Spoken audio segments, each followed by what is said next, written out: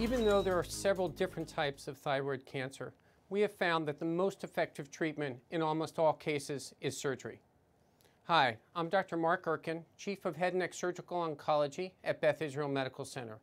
Most thyroid cancers are highly treatable and highly curable. They're usually found when a patient or doctor notices a change in the contour of the neck where the thyroid gland is located. To find out more about the tumor, we use the newest technology, that includes molecular diagnostics, which gives us information beyond what we can see under the typical microscope. In the vast majority of thyroid cancers, the initial treatment is surgical removal of the thyroid gland. And we also may remove nearby lymph nodes where the cancer might have spread. The thyroid gland produces a hormone that our body needs to function.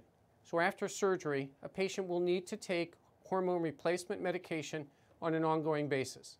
At Beth Israel Medical Center, we treat a large number of patients with thyroid cancer. Most patients can anticipate a very favorable outcome following surgery and radioactive iodine, which is given to certain patients. But we don't stop there. We have a thyroid cancer support group where patients who have gone through treatment share insights and tips on how best to recover. We have an exciting research program that will help us to change the way thyroid cancer is treated in the future. We are proud to be a leader in thyroid cancer treatment and management. It is part of our ongoing commitment to delivering the highest quality of cancer care.